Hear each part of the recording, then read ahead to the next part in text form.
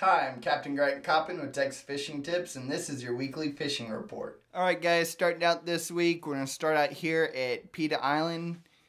The water is beautiful in here, nice sandy green in the guts, and real clean up in the grass. This time of year, what I do mainly is I run around on my GPS and I just start marking things. I look for things to mark, I look for bait, I look for drop offs, and things that I normally couldn't see in the spring and the summer. So what I recommend is get on these drop-offs here, look for the bait, work down these edges. Live shrimp's working good. There's a lot of drum running right now, big ones, keeper size, and then a lot of just good box fish right here on the drop-off. Over here straight across from Bird Island, there's some good birds working in here, lots of seagulls and a lot of pelicans sitting on the water.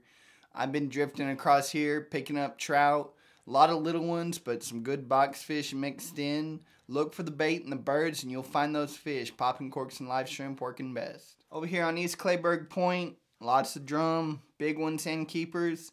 Also finding good fish, box fish, and some big girls in here.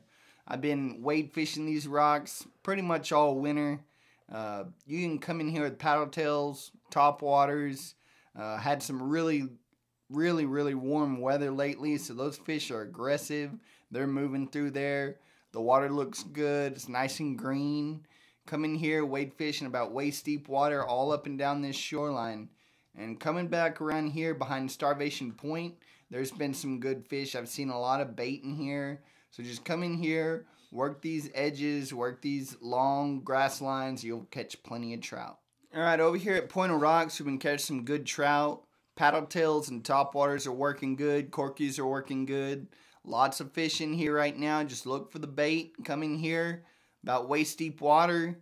There's some deeper water in here that are holding some good box fish. But I've been catching some of the bigger fish up in the shallow stuff. Come in here, work these rocks. There's some big fish in here to be caught. Just go slow. You don't have to work your bait slow, but just go slow because a lot of times you'll pass over those big fish if you don't give it enough time. I'm Captain Grant Coppin. Thanks for watching.